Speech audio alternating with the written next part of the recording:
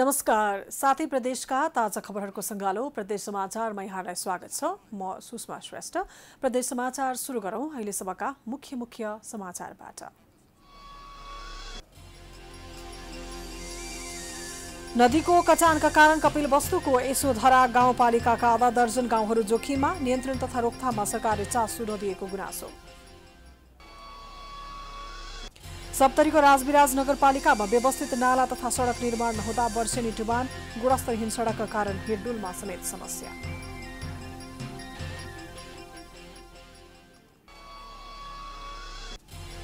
प्रतिबन्धित वन्यजन्तुका अङ्ग ओसार पसार तथा कारोबारमा गिरोहहरू सक्रिय दाङ र चितवनबाट दसजना कारोबारी पक्राउ।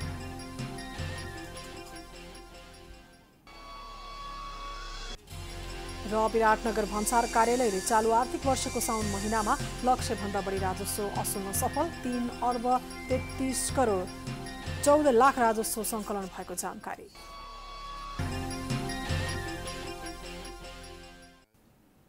आजको प्रदेश समाचार सुरु गरौं। लुम्बिनी प्रदेशको कपिलवस्तुमा बाणगंगा नदीको कटानका कारण आधा दर्जन गाउँहरूमा जोखिममा रहेको समाचारबाट।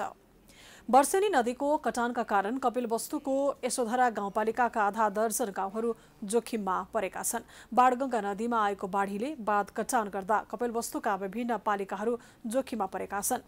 नदी छेकवार तथा रोकथामका लागि स्थानीय तहले कुनै योजना नबनाएको स्थानीयको गुनासो छ। एक रिपोर्ट। बाढीले जमिन कटान गर्दै गएपछि यशोधरा गाउँपालिकाका बस्तीहरू जोखिममा परेका छन्। बाणगङ्गा नदीमा आएको बाढीले यशोधरा गाउँपालिका आठ स्थित खोरियाको खेतीयोग्य जमिन कटान गरेको छ। नदीको बहाव बस्तीतर्फ सर्दै गएपछि गाउँ नै बगाउने खतरा बढेको स्थानीयको गुनासो छ। विगत चार दशक अघिदेखि पश्चिमतर्फ रहेको नदीले धार परिवर्तन गरेपछि अहिले नदी गाउँको नजिक पुगेको स्थानीय जनप्रतिनिधिको भनाइ छ। हमारे यहाँ यह समय ये स्थिति आई है। कि बाणगंगा नदी हमारे यहाँ बंधा काट दी है एकदम। रास्ता भी आवत जावत एकदम बंद हो गया है। हम संबंधित निकाय में भी गाँव पालिका सिंचाई में, सीडीओ साहब के प्रदेश में सब जगह जानकारी कह चुके हैं हम। ये का अगर तत्काल व्यवस्था ना हो जाता यह तटबंध कहीं तो हाँ खाली खोरिया भरना ही वही। यहाँ से थी आपके दुई वार्ड जाइए खोर एक सोमडी। बाढीले बस्ती बगाउने खतरा बढेपछि पानी परेको समयमा खोरियाका स्थानीय रातभर जाग्राम बस्नुपर्ने बाध्यता छ। नदीमा आएको बाढीले खोरिया गाउँको पश्चिम दक्षिण क्षेत्रमा निर्माण गरेको कच्ची बाँध समेत बगाएको छ। घर नजिक नदी आएपछि बालबच्चा समेत जोखिममा परेका छन्। वर्षेनी आउने बाढीका कारण त्यस क्षेत्रका स्थानीयको खेतीयोग्य जमिन बगरमा परिणत भएको छ जसका कारण किसान मारमा पर्दै आएका छन्। बाढी रोकथाम तथा छेकबारका लागि सरकारले कुनै पहल नगरेको स्थानीयको गुनासो छ। भाई, खोरिया गाँव का बंधा जो है, एकदम कटान हो गया है नदी के। अगर एक भी बारिश आए, बाढ़ ना आवे, बारिश भी आएगी तो आवागमन हमन के एकदम बंद हो जाई। हमन के ई बंधा टूटे से या कटे से, गाँव तो क्षति जो हुए तो होबे करी, लेकिन यहाँ से लेके कम से कम दस पंद्रह बीस गाँव क्षति में जाई। हमन के बहुत ही बेकार हाल है, आवे जाए के लिए एकदम आवागमन बंद है। हाँ खेती बाड़ी हमन के थोड़े परेशानी है एक तो नदी काट है। अगर नाय नाई ही अब नहीं ही लेकिन आदमी खियबत है वो मजबूर नहीं आया हमर कुछ और चाहत रहा। तटबंध बना दियो। हमर कैसे खेती करे जाए? उता यशोधरा गाउँपालिकाले जोखिममा परेको खोरिया बस्ती जोगाउन पहल गर्दै आएको दावी गरेको छ। नदी नियन्त्रणका लागि सङ्घीय र प्रदेश सरकारलाई जानकारी गराएको गाउँपालिकाले जनाएको छ। म प्रदेश सरकार र चाहिँ के अरे सङ्घीय सरकारलाई के भन्न चाहन्छु भने यदि शीघ्र तत्काल कुनै व्यवस्था गरिएन भने एउटा बाढी आउँदाखेरि त्यो चाहिँ नि गाउँ चार पाँचवटा गाउँ त्यो नदी बनेर चाहिँ नि बगिहाल्छ।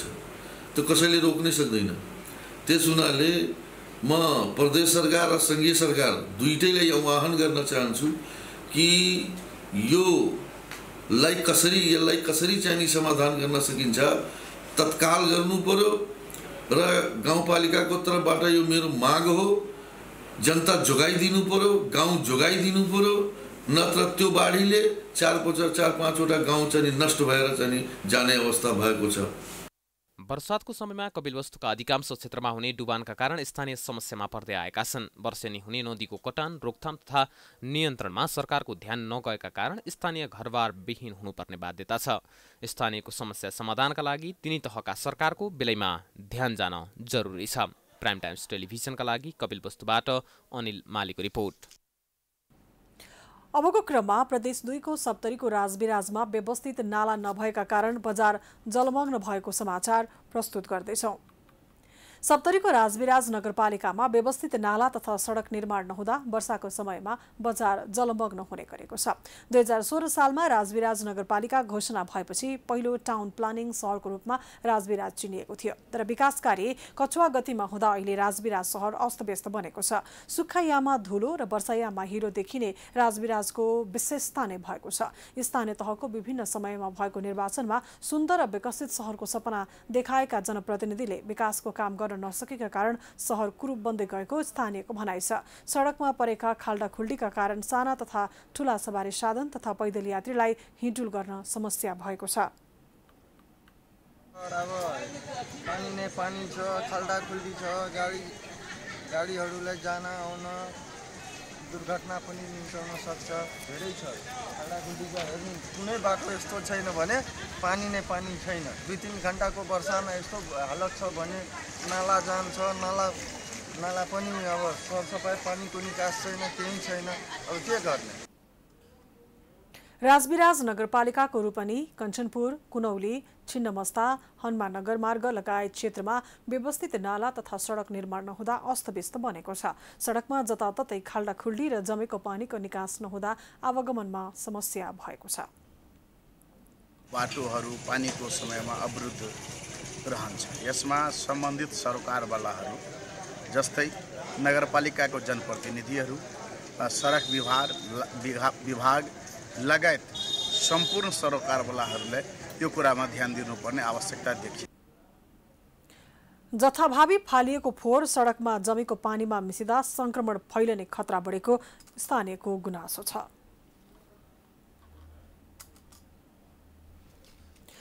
अब लागु लुम्बिनी प्रदेश सरकारका प्रवक्ता कृष्णध्वज खड्काले पोखरेल नेतृत्वको सरकारले अध्यादेशबाट ल्याएको बजेटको समीक्षा गर्ने बताएको सम्बन्धी समाचारतर्फ लुम्बिनी प्रदेश सरकारका आर्थिक मामिला तथा योजना मन्त्री कृष्ण ध्वज खड्काले लुम्बिनी प्रदेशको विकास र समृद्धिको लागि सरकारले न्यूनतम साझा कार्यक्रम ल्याउन लागेको बताएका छन्।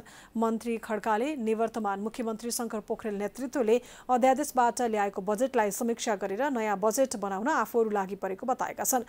रिपोर्टर्स क्लब नेपाल लुम्बिनी प्रदेशले बोचवलमा आयोजना गरेको साक्षात्कारमा सरकारका प्रवक्ता समेत रहेका खड्काले आफूहरूको मुख्य प्राथमिकता कोरोना रोकथाम र नियन्त्रणमा रहेको बताए। उनले मुलुक कोरोनाले थलिएको र तेस्रो लहर समेत देखा परेको भन्दै थप क्षति हुन नदिन प्रदेशवासीलाई खोप दिने तयारीमा जुटेको बताएका छन्। मन्त्री खड्काले अठार वर्षभन्दा मुनिकालाई खोप लगाएर विद्यालय सञ्चालनमा ल्याउने तयारी गरिरहेको पनि दावी गरे। उनले सहकार्य सहमतिबाट बजेट ल्याउन भन्दा भन्दै पनि निवर्तमान सरकारले बल जफती अध्यादेशबाट बजेट ल्याएको भन्दै आपत्ति जनाए। कार्यक्रममा नेपाल राष्ट्र ब्याङ्कका पूर्व गभर्नर तथा पूर्व प्रधानमन्त्रीका आर्थिक सल्लाहकार डाक्टर चिरञ्जीवी नेपालले सरकारले पुँजीगत खर्चमा जोड दिनुपर्ने बताए। उनले कोरोना महामारीले निम्न वर्गका नागरिकहरू समस्यामा परेको बताउँदै राहतका प्याकेजहरू तत्काल ल्याउनु पर्नेमा जोड दिए।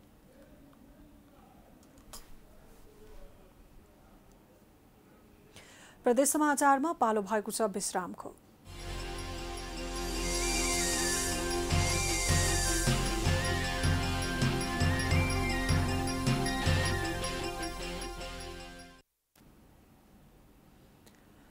विश्रामपछि प्रदेश समाचारमा फेरि पनि स्वागत छ। अबको क्रममा लुम्बिनी प्रदेशको दाङमा प्रतिबन्धित वन्यजन्तुको अङ्गसहित पाँचजना पक्राउ परेको सम्बन्धी समाचार प्रस्तुत गर्दैछौँ।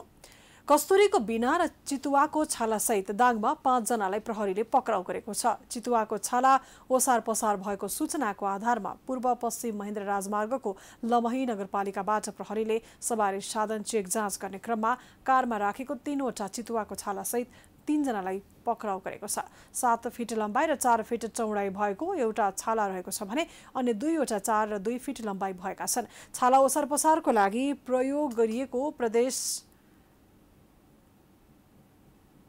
तिन शून्य एक शून्य दुई छ च सात छ तिन आठ नम्बरको कार समेत प्रहरीले नियन्त्रणमा लिएको छ। पक्राउ पर्नेमा पाटन नगरपालिका छ बैतडीका बिस वर्षीय गाडी चालक विमल औजी सोही स्थानका प्रदीप कुमार विक र हेमन्त औजी रहेका छन्। त्यस्तै एकतिस ग्राम तौल भएको कस्तुरीको बिनासहित दुईजना पक्राउ परेका छन्। त्यस्तै गरी घोराईको एक होटलमा बिक्रीका लागि बार्गेनिङ भइरहेको अवस्थामा प्रहरीले कस्तुरीको बिनासहित दुईजनालाई पक्राउ गरेको छ।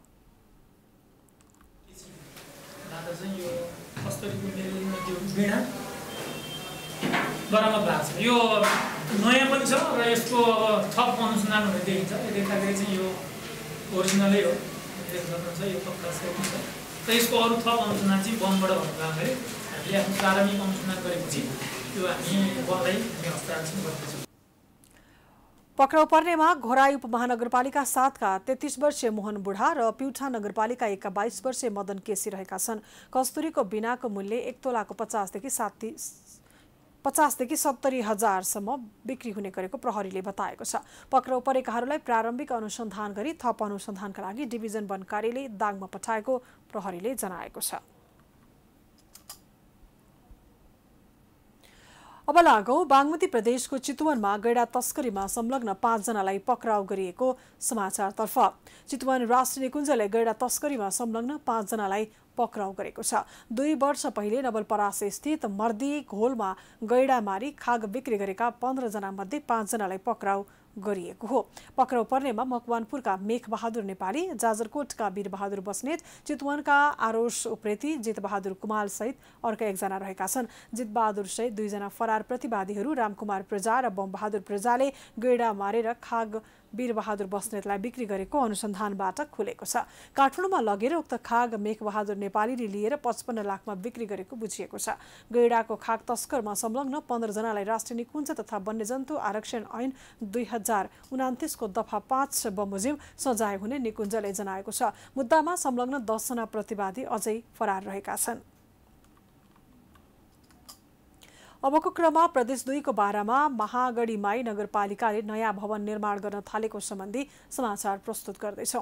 बाह्रको महागढीमाई नगरपालिकाले नयाँ भवन निर्माण गर्न थालेको छ। नगरपालिकाको पुरानो भवन जीर्ण भएको भन्दै नयाँ भवन निर्माणको काम अगाडि बढाएको जनाएको छ।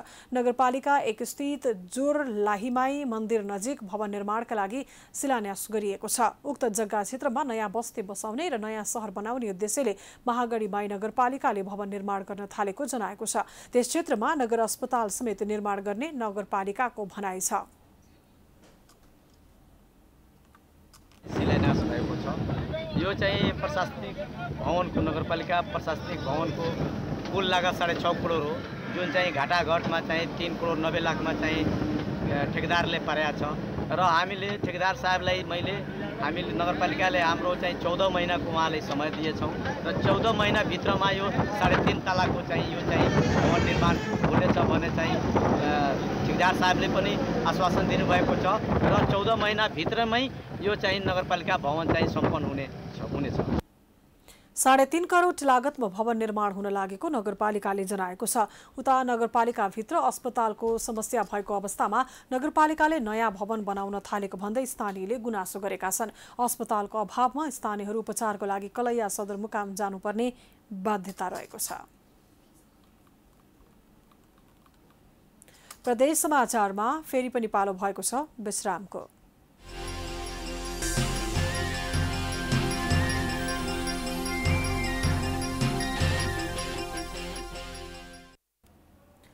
विश्रामपछि प्रदेश समाचारमा फेरि पनि स्वागत छ। अब लागौँ लुम्बिनी प्रदेशको बाँकेका स्थानीय तहका न्यायिक समितिले प्रभावकारी काम नगरेका कारण स्थानीयहरू मारमा परेको समाचारतर्फ।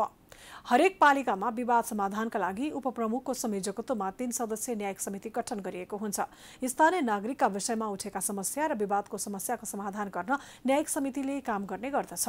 तर बाँकीको जानकी गाउँपालिकाको न्यायिक समितिले प्रभावकारी रूपमा काम नगर्दा स्थानीयले न्याय पाउन सकेका छैनन्।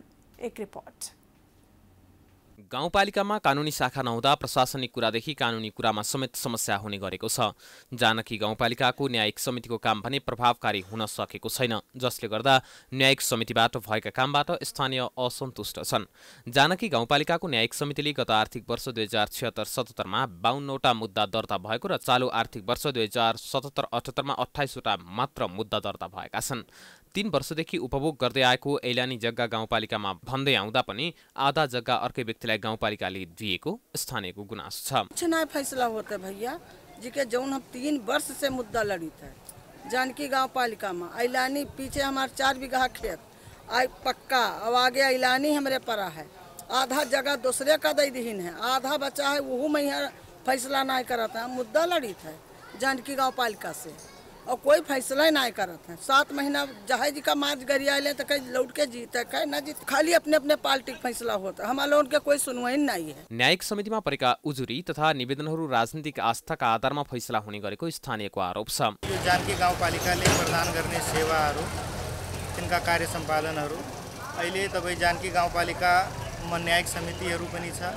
न्यायिक समितिमा धेरै बाल श्रमका उजुरीहरू महिला हिंसाका उजुरीहरू र जग्गा जमिनका विवादहरू, धेरै निवेदनहरू जाँदा पनि न्यायिक समिति फैसला के हुन्छ भने कार्यकर्ता मेरो को हो, कसरी हो, अनि आफ्नो चाहिँ राजनीतिकरण गर्ने गर्ने गरी चाहिँ न्यायिक समितिबाट मुद्दा चाहिँ फाइनलहरू हुन्छ।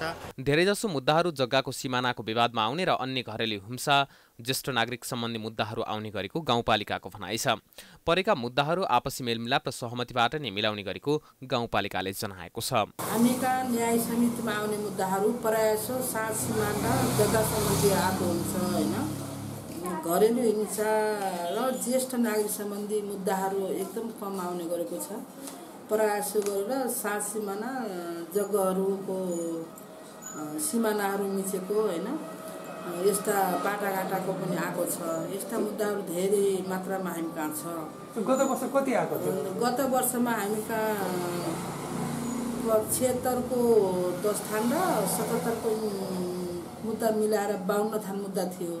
बाहन्न थानमा हाम्रो बाँकी दस रगत थियो। अरू बाँकी चाहिँ हामीले मेलमिलाप माध्यमबाट नै छलफल गरेर टुङ्गाएका थियौँ मुद्दाहरू। कानुनी शाखा नभएकै कारण र पालिकामा आएका विभिन्न किसिमका मुद्दाहरूको समाधानमा समस्या देखिएको गाउँपालिकाको भनाइ छ। तर गाउँपालिकामा परेका मुद्दाहरू राजनीतिक आस्थाका आधारमा निर्णय हुँदा आफूहरू पीडामा पर्दै आएको स्थानीयको गुनासो छ। प्राइम टाइम्स टेलिभिजनका लागि बाँकेबाट रविन्द्र घिमिरेको रिपोर्ट। अब अन्तमा प्रदेश एकको मोरङ स्थित विराटनगर भन्सार कार्यालयले साउन महिनामा लक्ष्यभन्दा बढी राजस्व असुल्न सफल भएको सम्बन्धी समाचार प्रस्तुत गर्दैछु। कोरोना महामारीका बीच विराटनगर भन्सार कार्यालयले चालु आर्थिक वर्ष दुई हजार अठहत्तर उना अस्सीको साउन महिनामा लक्ष्यभन्दा बढी राजस्व असुल्न सफल भएको छ। भन्सार कार्यालयले सोह्र प्रतिशत बढी राजस्व सङ्कलन गरेको जनाएको छ। कार्यालयले साउन महिनाका लागि दुई अर्ब उनानब्बे करोड एक्काइस लाख रुपियाँ लक्ष्य तोकेको थियो तर भन्सार कार्यालयले लक्ष्यभन्दा बढी तीन अर्ब तेत्तिस करोड चौध लाख रुपियाँ राजस्व सङ्कलन गरेको जनाएको छ। पछिल्लो समय आर्थिक गतिविधि बढेसँगै सुनसरी र मोरङ औद्योगिक करिडोरका उद्योगहरू सञ्चालन हुन थालेपछि भन्सार राजस्वमा वृद्धि भएको भन्सार कार्यालयले जनाएको छ। महिनामा हामीलाई दुई अरब उनानब्बे करोड एक्काइस लाख राजस्वको लक्ष्य प्राप्त भएको थियो र त्यसमा हामीले एक सय सोह्र प्रतिशत लक्ष्य हासिल गरी तिन अरब तेत्तिस करोड चौध लाख राजस्व प्राप्त असुल गरेका छौँ। महिनामा केही मात्रामा राजस्वको लक्ष्य अलिक थोरै कम हुन्छ होइन एउटा त त्यो त्यसले गर्दाखेरि प्रगति हाम्रो राम्रो देखिएको छ र अर्को चाहिँ बिस्तारै बिस्तारै यो कोरोनाको केही देखिए पनि सामान्य हिसाबले विराटनगर भन्सार कार्यालयलाई चालु आर्थिक वर्ष दुई हजार अठहत्तर उनासीका लागि अडचालिस अर्ब चौतिस करोड पैँसठी लाख रुपियाँ लक्ष्य तोकिएको छ। गत आर्थिक वर्षभन्दा अडसट्ठी उना अस्सीको लक्ष्य करिब साढे चार प्रतिशत बढी भएको भन्सार कार्यालयले जनाएको छ। हामी प्रदेश समाचारको अन्त्यमा आइपुगेका छौँ। जाँदा जाँदै प्रमुख समाचार पुनः एकपटक। नदी कटानका कारण कपिलवस्तुको यसोधरा गाउँपालिकाका आधा दर्जन गाउँहरू जोखिममा नियन्त्रण तथा रोकथाममा सरकारले चासो नदिएको गुनासो। सप्तरीको राजविराज नगरपालिकामा व्यवस्थित नाला तथा सडक निर्माण नहुँदा वर्षेनी डुबान गुणस्तरहीन सडकका कारण हिडुलमा समेत समस्या।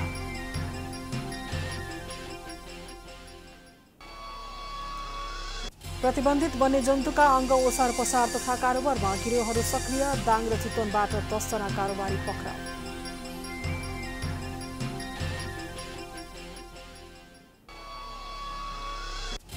र विराटनगर भन्सार कार्यालयले चालु आर्थिक वर्षको साउन महिनामा लक्ष्यभन्दा बढी राजस्व वसुल्न सफल तीन अर्ब तेत्तिस करोड चौध लाख राजस्व सङ्कलन भएको जानकारी। प्रदेश समाचार अहिलेलाई सकियो प्राइम टाइम्स टेलिभिजन हेर्दै गर्नुहोला। नमस्कार।